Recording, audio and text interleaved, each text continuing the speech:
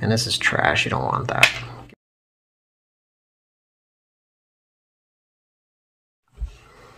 Hey guys, this is Steve with Blackfly. I hope everybody's doing well. In this short little video, I'm just going to show you guys how to create a welded loop. In this case, I'm just setting up a reel for my son, and it's got a it's got a, a cheap fly line on it, and as you can see, it's just got a perfection loop tied on the end of the fly line, and then also most of your leaders come with a perfection loop.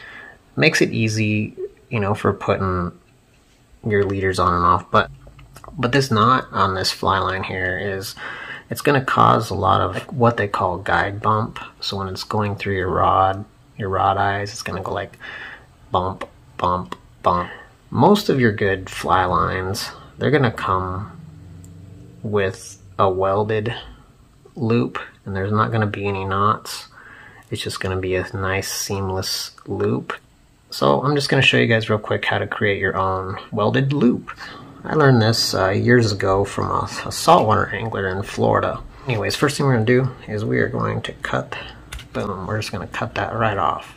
And then I'm just going to go ahead and I'm going to take the leader and I'm going to cut that. After you cut the knots off, we're going to take a razor blade. We're going to lay this as flat as possible. We're going to go back about an inch. And just super careful and slow shave one side of the poly coating off of the fly line. So this poses one small problem. Okay, so this is a floating line. This is set up for our dry fly rod and we don't want this line to sink. And with with us cutting off that coating, we're exposing the inner core to absorbing water and sinking our flies. So what I like to do next is just take a lighter, hit it with just a little bit of heat, not a lot, just enough to seal that up. Okay, so now we're just gonna pinch the line, flat to flat, so to create as level of a transition as possible. We're gonna open up the jaws on our vise. Okay, so I've got it pinched together in the vise. It should look something kind of like that. Just however you can pinch those flat sides together. It's... Okay, so next we're going to take some black thread and our loon bobbin, fly tying bobbin. If you don't have one of these, um, I'll try to remember to link one down below. They're pretty cheap. What we're going to do is we're going to wrap our finger around this tag end and we're going to do one overhand. I'm going to pull up with my bobbin and pull down with my hand. And I'm going to wrap slowly back. And the reason I'm using the tag end is because this doesn't have any rigidity like a hook does. So I've got to create something, that, I mean, so I've got to be able to pull against it with my, that's why I'm holding on to it, just so that way I can pull it tight. And I'm just going to wrap back to the vise good tight wraps.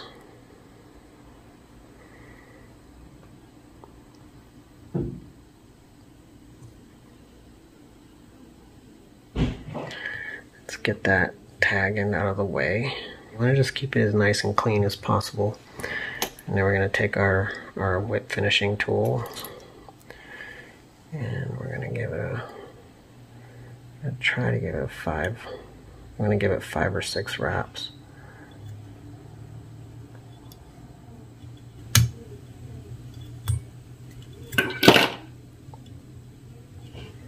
and just snug it down real good. Get in there close and trim that, reposition it. I'm gonna take our tag, cut off our tag end. Okay, so next we're just gonna remove it from our vise. See, we got a nice fine loop. Um, so what we're gonna do is we're gonna just trim that piece. By doing that, we're to take and bend this back. Get in here real close, and I like to try to cut it at just a little bit of an angle, if you can, if, without catching your threads. Camera. And just trim that off as close as possible. So you should end up with something that looks like that. Now we're going to go ahead and stick this back in the vise. And we're going to take some Loon UV clear and I'm just going to coat this thread. First I'm, I'm going to start back here. You take your time and squeeze this out. I'm going to create a nice smooth bridge right there. And I'm just going to coat all this thread. In this UV resin, if you're not familiar with it, it doesn't dry until you hit it with the UV light. And so I'm just soaking this, making sure the UV resin gets into all the threads. I'm just using my little bodkin.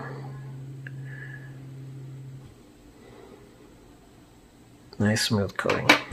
Next, take your UV flashlight, hit it with the UV light.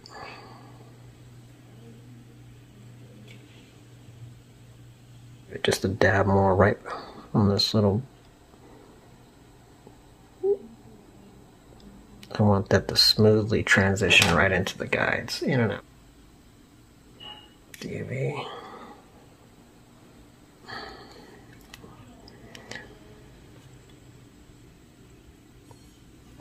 That's all you need.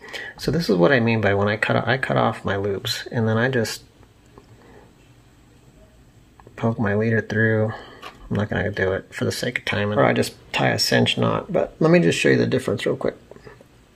What do you think is going to go through the guides easier?